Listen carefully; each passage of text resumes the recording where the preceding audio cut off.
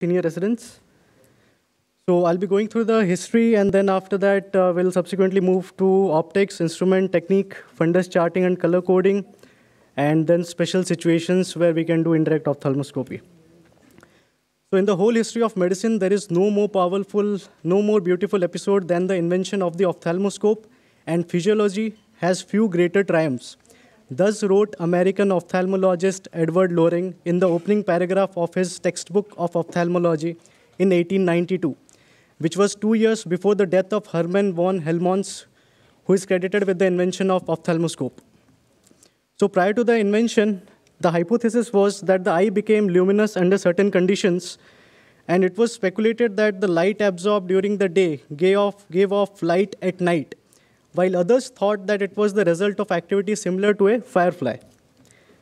So Méry in 1704 made first ophthalmoscopic observation of a normal fundus in a drowning cat, and Cumming and Burke and Brooke in 1846 explained the principles of ophthalmoscopy. So ophthalmoscopy was introduced by Hermann von Helmholtz in December of 1850.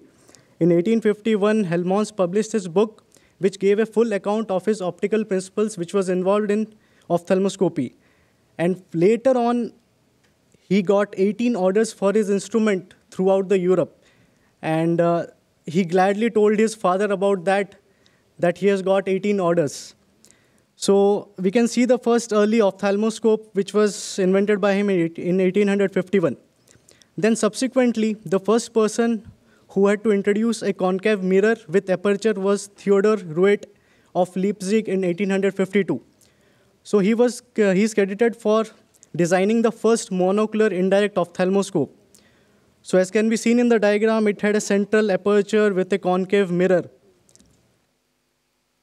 But the first binocular indirect ophthalmoscope was invented by Marc Antoine Giraud, uh, Teulon of France in 1861 and there were no less than 140 instruments on exhibition at a meeting hosted by Harry Friedenwald and Casey Wood in Atlantic City, New Jersey, on the 50th anniversary of the invention of the ophthalmoscope.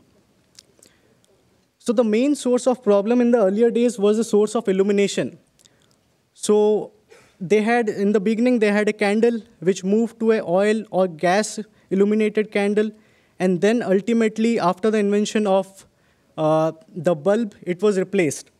So the earliest source of illumination for the ophthalmoscope was a candle as used by Helmholtz. These lamps incorporated a reflecting mirror behind the candle and a strong convex lens in front to condense the light.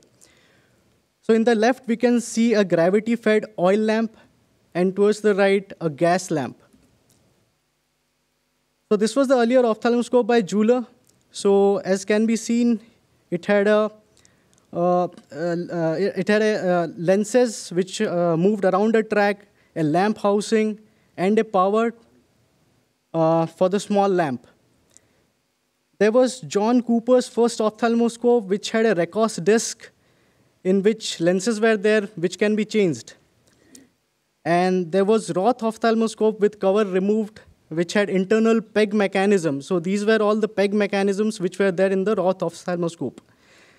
And there was an unidentified ophthalmoscope by circa in 1870. So in 1879, Thomas Edison was working on the incandescent bulb. And six years later, Dr. William Dennett was the first one to use a bulb within the body of the ophthalmoscope. And this he presented in the American Ophthalmological Society in, in 1885. Coming to the 19th century, the 1911 Thorneld Alvar Gullstrand who is credited with the slit lamp invention. He made a reflex-free ophthalmoscopy. While Charles Schepens, he developed the modern binocular indirect ophthalmoscope, which was in 1946. So here can be seen Charles Schepens with his binocular indirect ophthalmoscope. This, the second image, was the first ophthalmoscope by Adolf Coccius with plano mirror and a biconvex lens for focusing the light while the Loring ophthalmoscope had a rectangular concave tilting mirror. So this was how the earlier model of the binocular indirect ophthalmoscope was, and this is which we are using right now, so we have come a long way.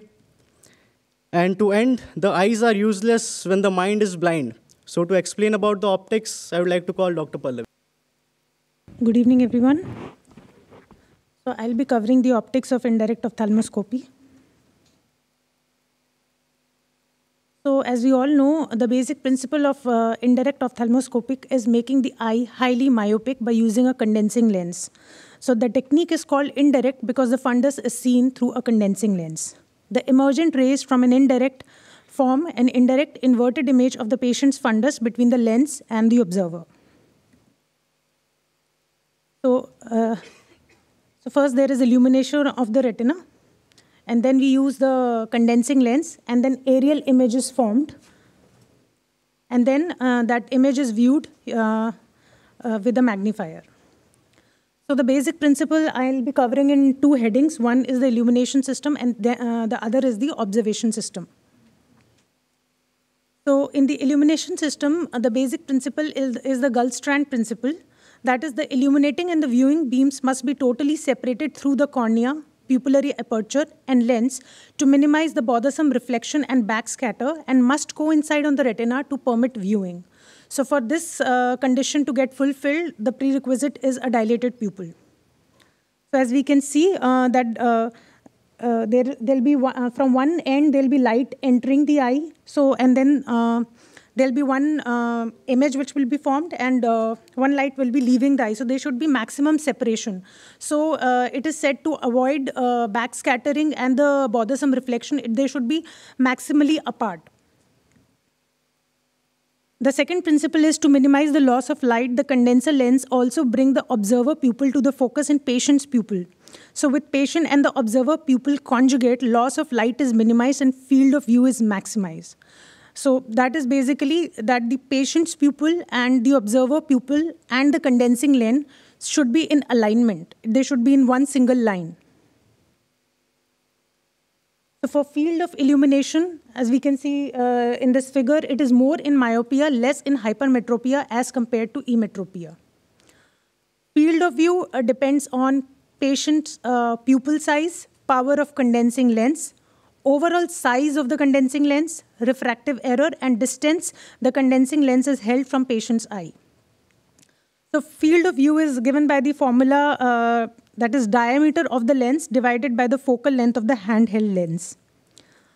Magnification of the image depends on three factors. Uh, one is the dioptric power of the convex lens used, position of lens in relation to eyeball, and refractive state of eyeball. So uh, it is given uh, by the formula of uh, fundal object, the ratio of the fundal object uh, divided by the aerial image, which is equal to the ratio of focal length of the patient's eye divided by the focal length of the condenser lens, or it is inversely proportional to the power of the eye and handheld lens. So what we commonly use uh, is uh, that for an emmetropic eye and a 20 diopter lens, magnification will be 60 diopter divided by 20 diopter, that is three times. The power of condensing lens determines the working distance, the magnification, field of view, and as the power of condensing lens decreases, field of view decreases, but working distance and magnification increases. So roughly the magnification is the eye power divided by the power. So this is uh, the comparison of different types of lenses. For the image formation, the ha handheld condenser lens creates a real inverted aerial image of the illuminated patient's fundus. Thus, the examiner must learn to reorient the details. And as we uh, know, uh, there is a lateral inversion of uh, the image. So in emmetropic eyes, rays from the fundus are parallel and brought to the focus by the condensing lens. So image formed uh, is at the principal focus of the lens, hence size of the image remains the same no matter what is the lens position. For myopia, rays are convergent. So image formed in front of the eye. So final image by the condensing lens uh, within its own focal length. So image is smaller when the lens is nearer to the anterior focus of the eye and larger when away. In hypermetropia, rays are divergent and appear to come from behind the retina. So image by the condensing lens is in front of its principal focus. So image, image is larger when lens is nearer to the anterior focus of the eye and smaller when away. So relative uh, position of the images we can see in, in emmetropia is at the principal focus. In myopia, it is nearer to the lens than its principal focus. In hypermetropia, it's farther away from the principal focus. For uh, binocular vision, uh, for stereopsis, we all know we need uh, binocular vision. So uh, two similar, slightly apart images with mild lateral disparity is the essence of stereopsis. Stereoscope, which reduces the observer's interpupillary distance sufficiently to permit binocular observation of the patient's fundus. So for stereopsis, uh, normal interpupillary distance is about 60 millimeter. So it is reduced to 15 millimeter by the use of prisms in the indirect ophthalmoscope. So it reduces the stereopsis appreciated by an observer by about one-fourth. So axial magnification, which equals one-fourth of the square of the lateral magnification, augments the stereoscopic appearance. So if the lateral magnification of a 20 diopter lens is uh, three times, the axial magnification equals uh, 9 by 4, that is the square root of 3, uh, square of 3 divided by 4, which, uh, which is uh, 2.25. Thus, high-power handheld lenses amplify small changes in retinal topography. So I call uh, Harshit uh, to teach us about the technique. Uh, good evening, everyone, and uh, a very warm welcome and uh, congratulations to the new VR Fellows of SN Department. So I'm Dr. Harshit Vaidya, and I'll be covering the instruments. so indirect ophthalmoscopy basically has three pillars. That is the indirect ophthalmoscope, the condensing lens, as well as the scleral depressor. I'll be mainly focusing on the indirect ophthalmoscope today. So the, before starting to know about the instrument, we need to know why we need to use the indirect ophthalmoscopy more often these days. It has various advantages over direct ophthalmoscope. That is, it has a stereoscopic vision, it helps in a wider field of view, it helps examine the anterior retina, and is unaffected by the refractive state of the patient's eye. It can be used in the OR or the operation theater without contamination, and it can be used in media haze. So basically, indirect, the binocular indirect of ophthalmoscopes are largely classified into two. That is the spectacle mounted, which is used in the OR or the operation theater, and the head mounted, which can be either wired or wireless. So coming to the parts of this uh, indirect ophthalmoscope itself, it has three major systems. That is, first is the mechanical system having the head mount, then the illumination system housing the halogen bulb or the LEDs in the newer indirect of ophthalmoscopes, and the viewing system having a convex lens, which helps in a stereoscopic vision, a pair of convex lenses. So the headband has a knob at the back, which is also called as the size adjustment knob or the circum knob, which is used for the circumference of the head. It is used to avoid unwanted movements on tilting of the head while examining the retina. It should be located at the occipital portion of the head. The other hand, there is a height adjustment knob or the depth knob. This is the one which we often forget to use when the headband slips, we land up tightening the horizontal knob at the back. This causes a headache due to the tightening of the horizontal band effect and due to the constant action of the frontalis in an attempt to elevate the slipping headband. Then is the housing knob, which is located at the top portion of the illumination system. This helps in the angulation and the height of the oculars. This helps in the alignment of the condensing lens as well as the pupil, thereby reducing the uh, reducing the diplopia and increasing the field of view. Here is a video stating how to use the same.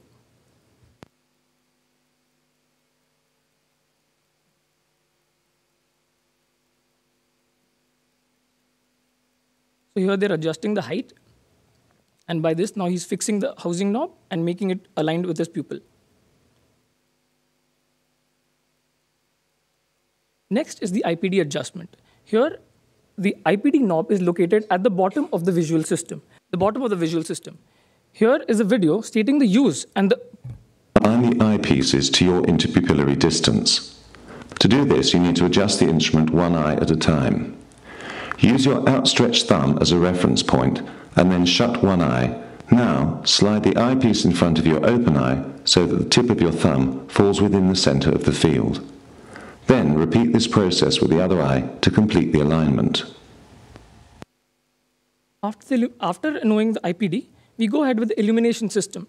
This is mainly controlled by the rheostat, which can be either on the head mount or at the power cable or in the batteries. This helps in switching the illumination on and off.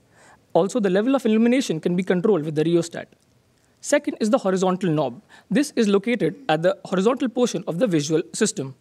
This helps in the vertical alignment of the illumination. The illumination, generally, the beam should be in the upper part of the visual portion so that it helps in the optimal visualization of the retina. The illumination should generally be low while examining the retina in the initial phases until the patient gets comfortable, and the bright illumination should be used intermittently when needed. Next is the spot size, the lever of which is located at the illumination system, at the edges of the illumination system. The, small, the large spot size is used in cooperative patients having a dilated pupil, whereas a small spot size can be used in uncooperative patients as well as a small pupil. The diffuser adjustment is usually along with the spot size adjuster, and it can be used mainly for beginners as it helps in diffuse illumination of the retina.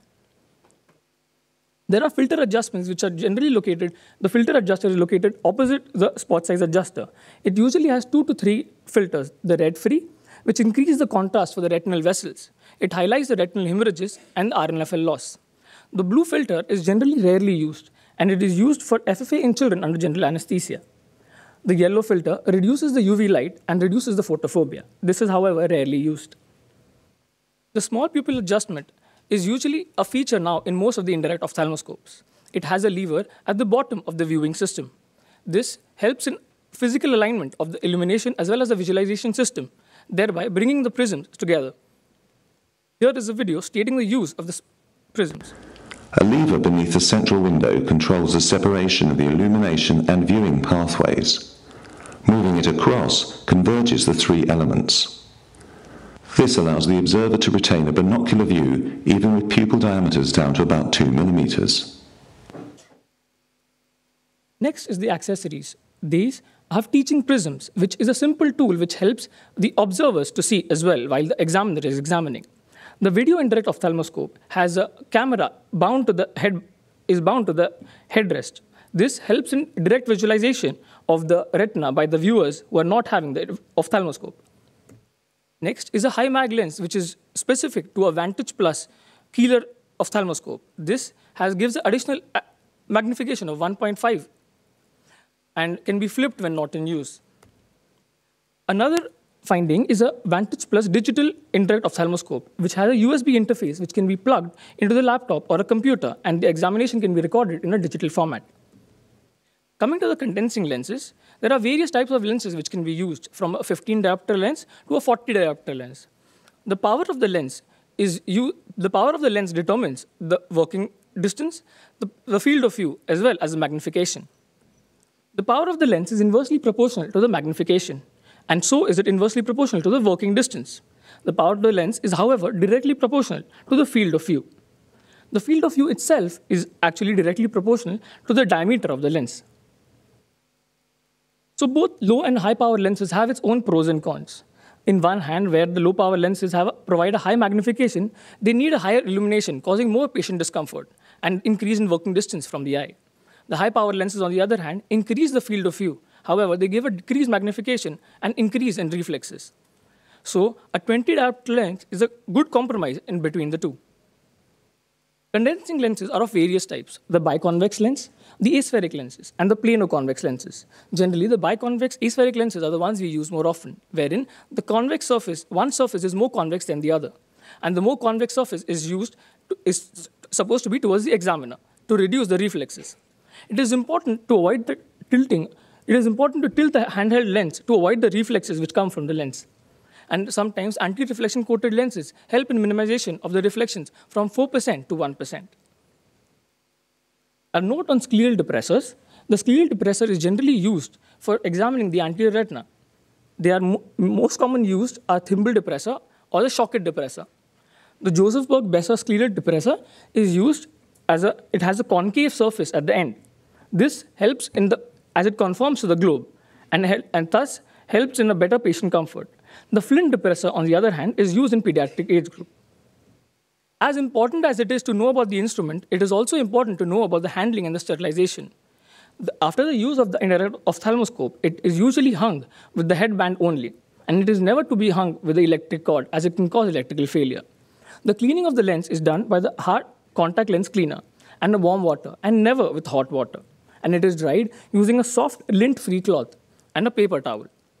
You, for the purpose of sterilization, we do not autoclave or boil the condensing lenses. Instead, we use 3% hydrogen peroxide solution or 70% iso isopropyl alcohol, alcohol for 5 to 10 minutes. At the end, maintaining a checklist for maintenance of, the, of these lenses and these instruments helps in the longevity of these instruments. Thank you. Now I'll call AKL to Dr. AKL to discuss about the techniques of indirect. Good evening, everyone. I'll be speaking on uh, technique of indirect ophthalmoscopy. So before doing going for IDEO, we should know how to prepare. There should be a good patient counseling, telling them about the procedure, what are you going to do, what kind of cooperation you want, and what kind of difficulties they can face during the examination. So that all we have to tell. A good pupillary dilatation, ideally a fully dilated pupil uh, is desirable, but uh, we have to compromise depending on the uh, patient's uh, inability to get a fully dilated pupil a semi-lit room with a space sufficient uh, to have an unobstructed movement on the head side of the couch. And uh, it's good to know or ask about the patient's any back or spine ailments, especially in old age patients, because they might not be able to lie flat on the couch. Uh, next comes patient positioning, which is very, very important for a IDEO. Uh, generally, we examine on a supine on a couch or a reclining chair in our OPDs. The height of the couch uh, should be approximately uh, till the level of the waist of the examiner. And the patient's neck should be uh, neither too flexed or extended. Ideally, it should be flat, like in uh, picture A. Picture B and C, I'll tell in later slides. So ideally, we want uh, patient to lie in position A. Next comes wearing of IDEO, the adjustment of headband, which has been in detail covered by Harshit. I'll not go into details. The main thing is we have to adjust our headband. And uh, next is the to adjust the eyepiece and to adjust our interpupillary distance. Uh, we have to check uh, uh one by one by closing one eye, then adjusting for that eye and then uh, other eye, and then opening both the eyes to have a good stereoptic vision and uh, to prevent diplopia. Next, after adjusting, we have to hold the lens so holding a lens is also very important. Uh, the lens generally which we use are biconvex aspheric with more convexity towards one side and other is relatively uh, less convex. So the more convex sides has to be towards the observer's side and the uh, relatively planar surface towards the patient side. Uh, in almost all the uh, lenses, the patient side generally have a silver ring. So we have to remember that ring has to be towards the patient. And how to hold the lens? So a lens has to be uh, held with the a flexed index finger and the ball of the extended thumb. Middle finger act as a pivot, which uh, helps in which we use for tilting and for moving the lens further and closer to the patient's pupil. And simultaneously, we can use it to retract the eyelid. The ring and the little finger generally rest on the bony prominences, uh, either the orbital margin or the cheekbone of the patient. So uh, after this, we have to instruct the patient, tell them to keep the both eyes open during the examination. It's good to give them a target uh, to see with the other eye, uh, uh which helps in patient cooperation. It also is helpful in uh, blind patients or one-eyed patients due to the proprioception. They know in which direction they have to see. And tell the patient to follow the command of the examiner throughout the examination. Now, how to bring the retina into the focus, how to see the retina, sorry. So first we have to hold the lens uh, close to the eye, about 2 mm from the uh, eye, and keep it at the center, center of the pupil. Now, when we get a red reflex, then we have to pull back the lens away from the patient's eye, and the, at the same time we have to take care that uh, the illumination is centered on the pupil. We, my, our hand should not uh, get uh, shifted. So place it close to the pupil, get the glow, and then lift it upwards.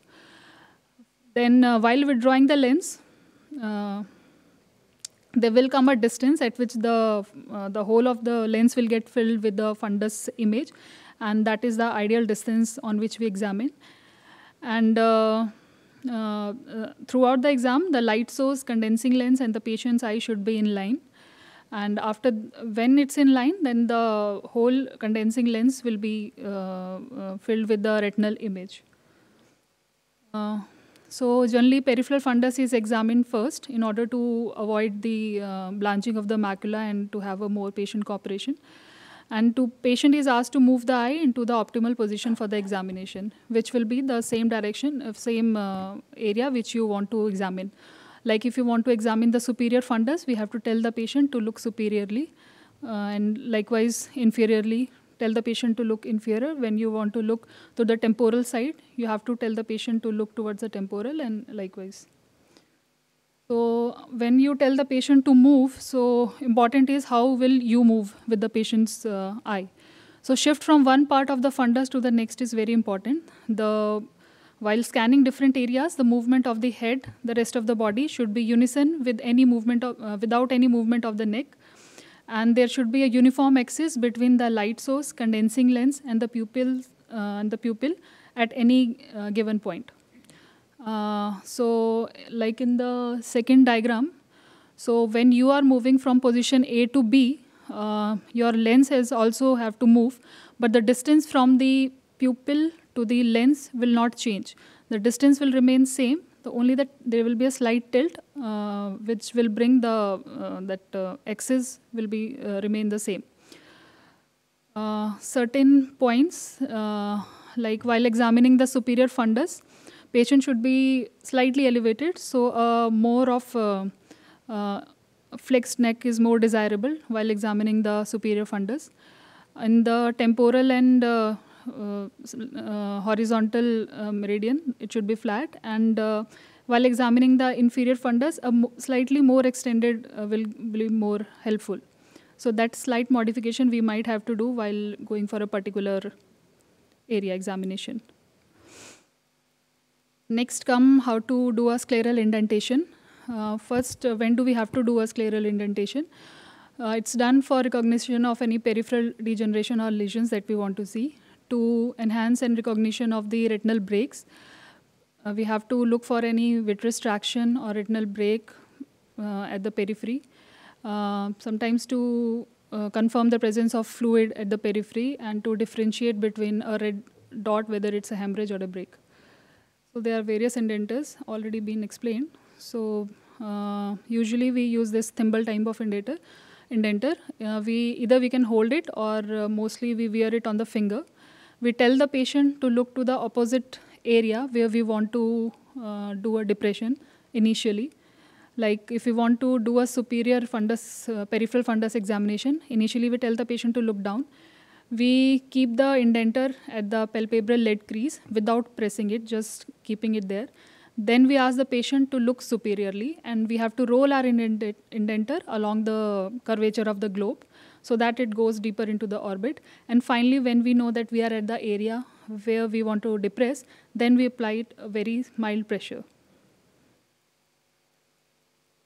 So like this, we keep it at the margin, we roll it along the eyeball, and then slightly we press it.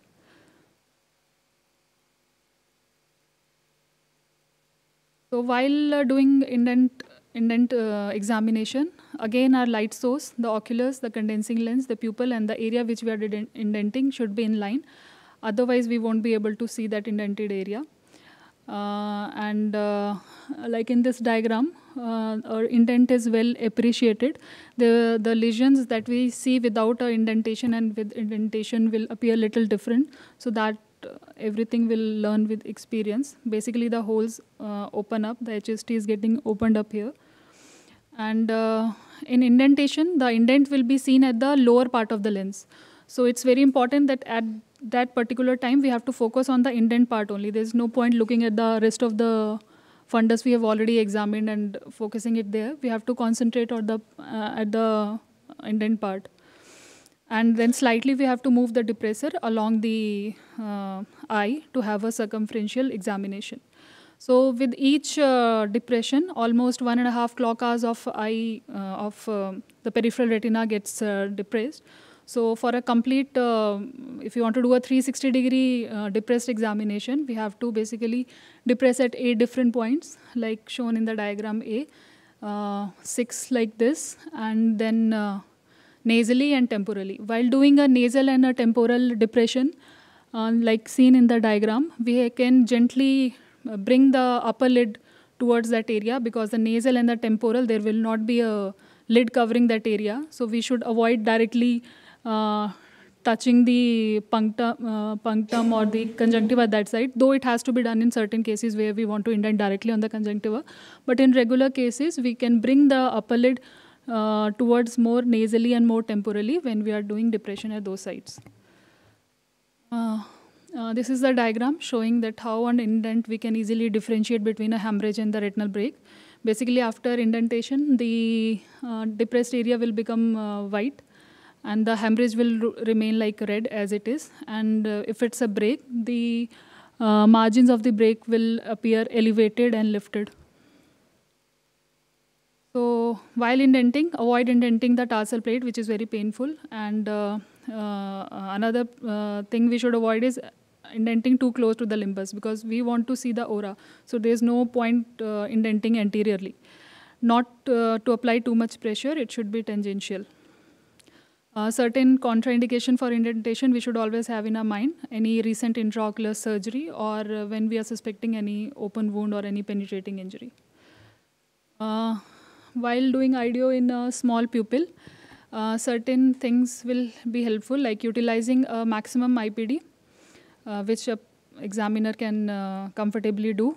IPS should be as close as to the pupil of the examiner um, and we should go away from the patient as much as possible using high power of uh, condensing lenses and small pupil setting uh, can be used, should be used in uh, IDO when available, likewise told by Harshit.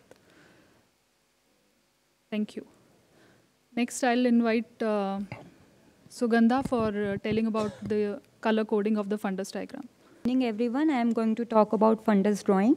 So before fundus drawing, we all should know about various anatomical landmarks. So we should know about the various anatomical landmarks before doing fundus drawing. Optic disc, macula, retinal blood vessels, ora serrata, vortex veins, which represent the equator. So where, we, where should we do the fundus drawing? It is done on modified Amsler-Dubois chart, where the inner circle represents the equator, the middle circle represents ora serrata, and the outer one pars plana. So what are the advantages of fundus drawing? It helps in documentation of fundus findings. It helps in comparison of serial drawings. It is a useful reference during surgery, and it is valuable in clinical research and case review. This positioning of the patient and seeing in the target uh, has already been discussed by Dr. AKL, so I'm not going into the detail. So how to chart the fundus? Chart is placed inverted on the supine uh, patient's chest, and we should start drawing as we see. So we should stand 180 degree away from the lesion being observed and we should draw the image that is seen in the lens on that part of the fundus chart which is closest to you. Lesions appearing closest to the observer in the lens are in the anterior fundus and lesions which are farther away from the observer in the lens are in the posterior fundus. So we should observe the disc and trace a vessel to the periphery. And macula should be observed in the lens for best patient's cooperation. So, so first the disc is drawn, then the retinal blood vessels are traced from the center to the mid-periphery, and then the ora serrata uh, is examined in the end. Ora serrata is smoother in the temporal side from 11 to 5 o'clock position in right eye and 7 to 1 o'clock position in left eye. In eyes with mid-dilated pupil and non-dilated pupil, the obstructed view of peripheral fundus is indicated by some lines instead of the usual wavy pattern of drawing ora serrata. So here we can see in the right eye, there is localized retinal detachment with horseshoe tear at 11 o'clock position and lattice at 1 o'clock position. So we should draw as we see the le uh, lesion in the condensing lens, like here 11 o'clock, uh, at the 11 o'clock we are seeing a horseshoe tear, which is drawn at the 11 o'clock position in the fundus chart. So RD here, in this picture, we can see RD is present in the superior temporal quadrant, which is seen in the condensing lens, which is real and inverted. Coming to the color coding, red solid color is used to depict retinal arteries, vortex veins, vascular tumors, vascular anomalies, attached retina, and neovascularization. It is also used to depict pre-retinal and intraretinal hemorrhages, open interior of conventional retinal breaks, tears or holes, open interior of outer layer holes in retinoschisis, and normal foveola is drawn as a red dot. Red crossed color is used to depict open po portion of giant retinal tear or large dialysis, inner portion of PSD or inner portion of thin areas of retina, and open portion of retinal holes in inner layer of retinoschisis. Blue solid color is used to uh, depict detached retina, retinal veins, outlines of retinal breaks and ora serrata, meridional, radial, fixed, or circumferential retinal folds. It is also used to outline flat neovascularization, outlines of lattice degeneration, outline of thin areas of retina, intraretinal cysts, vitreoretinal traction tufts, or retinal granular tags and tufts. Blue cross is used to depict inner la layer of retinoschisis, with, with uh, white with or without pressure, detached pars plana epithelium anterior to separation of ora serrata, and rolled edges of retinal tears or inverted flaps in giant retinal tear. Blue circles is used to depict cystoid degeneration, and blue interrupted lines are used to outline any change in area of folds of detached retina in uh, presence of shifting fluid. Green solid color is used in case of any media opacity, in, in cases of vitreous hemorrhage, presence of vitreous membranes, hyaloid ring, or any intraocular foreign body. It is also used to depict re uh, uh, retinal operculum, outline of elevated neovascularization, vitreous substitutes like silicon oil or gas, and cotton wool spots. Green stippled or dotted lines are used in case of asteroid hyalosis or frosting or snowflakes in case of cystoid degeneration, retinoschisis, or lattice degeneration. Brown solid color is used to depict pars plana cyst, pigment beneath the detached retina, ciliary processes, and uveal tissue. It is also used in uh, cases of pigment epithelial detachment, choroidal melanomas, nevus, metastatic or other choroidal tumors, and choroidal detachment. Brown outline is used to depict edge of uh, buckle beneath the detached retina and outline of posterior staphyloma. Yellow solid color is used to depict intra or subretinal hard exudates, intraretinal edema, subretinal gliosis, or any deposit present in the retinal pigment epithelium. It is also used to depict uh, post-laser uh, photocoagulation or cryoretinal edema, substance of long or short ciliary nerves, retinoblastoma. Yellow stippled color is used for depicting drusen, and yellow cross for chorioretinal coloboma. Black solid color is used for hyperpigmentation due to cryo or laser photocoagulation and sheath vessels. And it is also used to depict pigment within the choroid or pigment epithelial hyperplasia within the attached retina and pigment demarcation line at the margin of attached and detached retina. And it is also used to uh, denote edge of buckle beneath the attached retina, an outline of chorioretinal atrophy, and outline of long and short posterior ciliary vein and nerve. Thank you. Now I'm going to call Yamini to talk on special scenarios. Good evening. I'm going to talk about uh, indirect ophthalmoscopy in special scenarios, that is in oil-filled gas or gas-filled eyes, in phakic, aphakic, and pseudophakic eyes, and also examination of children. So before starting uh, the scenarios, we'll just remember the refractive indices of each surface.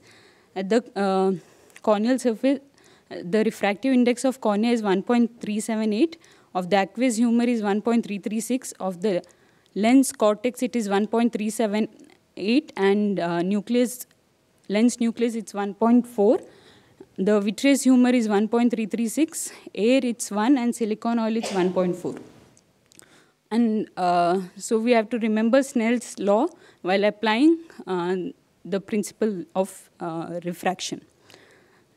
And the other points to remember is the posterior lens surface in a normal scenario with vitreous in vitreous cavity and aqueous in anterior chamber. The posterior lens surface acts, acts as a low power pl plus lens. The posterior corneal surface acts as a low power minus lens and the anterior corneal surface acts as a high power plus lens. So in gas-filled phakic eyes, the posterior lens surface and the gas interface acts as a high power plus lens resulting in myopic shift. In gas-filled aphakic eyes, the uh, convex anterior convex uh, convex surface of the gas bubble acts as a um, um, minus lens resulting in a hyperopic shift. In uh, gas-filled pseudophakic eyes, it depends upon if it's a plano uh, convex or a plane, plane uh, posterior surface. There is usually a hyperopic shift. So the three scenarios given again. So while examining patients with gas-filled eyes, we have to avoid the interface. To look at the superior retina, it is always better to uh, see the patient in a sitting position. In oil-filled eyes, uh, the anterior surface of the oil acts as a, at the interface between the oil and the posterior lens surface acts as a concave lens, resulting in a hyperopic shift in oil-filled phakic eyes.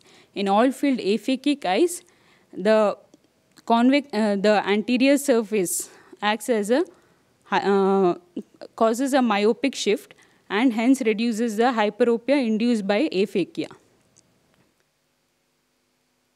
Uh, so the plano-convex IOL provides the most reliable uh, refractive results in silicon oil eyes. So in aphakic eyes, there is no uh, astigmatism due to the peripheral lens surfaces, and so uh, the periphery is seen uh, uh, well in without indentation. Also, the periphery can be seen in aphakic eyes. So um, we can, using this table, we can remember what is the power of the eye uh, in gas in various situations. In uh, when the aqueous chamber is filled with air, it acts it causes a myopic shift and hence we have uh, it causes a hyperopic shift and a 20 diopter lens is required to neutralize the uh, refractive change. When the vitreous cavity is filled with air, it causes a high myopic shift and so we need a minus 60 diopter lens to neutralize the power. In when the uh, vitreous cavity is filled with air as well as aqueous is filled with air, then it, uh, there is a reduction in the um, myopic, myopic shift and hence we need, we need a lesser power compared to the previous situation. When the vitreous cavity is filled with silicone oil, it causes a hyperopic shift and uh, and so we need a plus diopter lens to neutralize the refractive error. When the vitreous cavity is filled with silicone oil and the aqueous uh, anterior chamber is filled with silicone oils, there is a lesser uh, lesser amount of hypermetropia compared to the previous situation and hence a lesser power lens is required. In aphakics, when the anterior, when the whole of the eye is filled with aqueous, aqueous around uh, 12.10 diopter lens is required to neutralize the refractive error. When it is filled with air, then it causes a high uh, myopic uh, it causes high hypermetropia and hence uh, a, a 40 diopter lens will be required to neutralize it. And in silicone oil filled eyes, it causes uh, reduction of hypermetropia caused by the aphakia. So in, if the posterior surface is plano in a pseudophakic eye, there is minimal change in power. So uh, these rules are uh, applicable to uh, when the silicone oil fills the vitreous cavity almost completely. If it is incompletely filled, then uh, the refractive error changes. So, and also a study has shown that there is change in refraction immediately after the patient sits from a lying sits from lying uh, position to sitting position. So I recommend you to read these two articles which explain the optics of eye with air or silicone oil fill. And the next scenario is uh, examination in uh, pediatric patients. So studying of the child is very important. You have to swaddle the child using, uh, using the towel. And, and, this quietens the child, also keeps the child warm and helps in, uh, you know, restraining the hands and feet of the child. So we should not elevate the hands of the child above the head. It can cause shoulder dislocation you should avoid pressing on the fontanelles in small children and especially when the parents are apprehensive, uh, the assistant has to follow a wall between the parent and the child. In highly uncooperative children, just a firm grip over the knee helps in preventing the child from moving. And uh, never leave the speculum uh, in a child with the hands unrestrained. So the uh, speculum used in for pediatric examination is the Weyer's speculum or the Alfonso pediatric eye speculum and a Flynn scleral depression, depressor. And uh, the drops we use in pediatric patients less than one year old is uh, ROP drops, what we commonly call, call as ROP drops. It has 2.5% phenylephrine and 0.8% tropicamide. 2.5 ml of this mixed with 2.5 ml of artificial tears.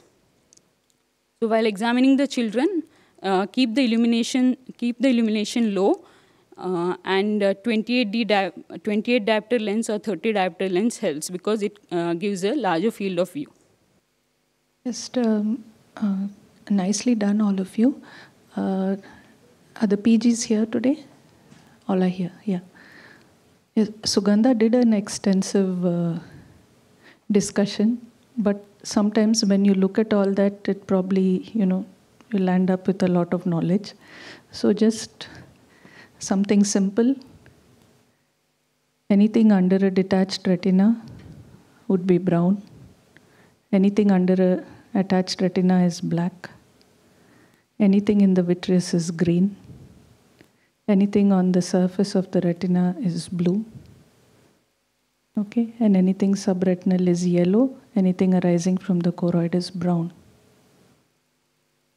Okay, so any lesion involving the retina itself, other than a retinal hemorrhage, like you saw your lattices, you saw the holes, you saw the cyst, you saw the schisis all those were blue, right?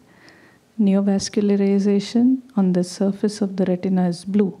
When it lifts into the vitreous, it's green. So anything in the vitreous cavity, including vitreous hemorrhage, is green. That also includes lesions in the nerve fiber layer, which are the two lesions in the nerve fiber layer that you commonly see. And you're always confused whether to mark them yellow or green. Fellows, cotton wool spots and myelinated nerve fibers, right? Usually there's always that confusion. So anything in the nerve fiber layer, you mark it as green. Okay, and PG is taking your exam. Please read the recommended textbook and the recommended and the color coding for that because there are always few areas of color coding that are different. So whichever textbook has been recommended for you for DNB retina, retina textbook, please refer to the color coding in that and use it. Right? So sometimes when you're bombarded with so much information, it's always confusing. But these are simple things. Anything in the vitreous green, anything immediately under the retina yellow, anything under the choroid, including choroidal detachment, pars plana cysts, all of them are brown. Right?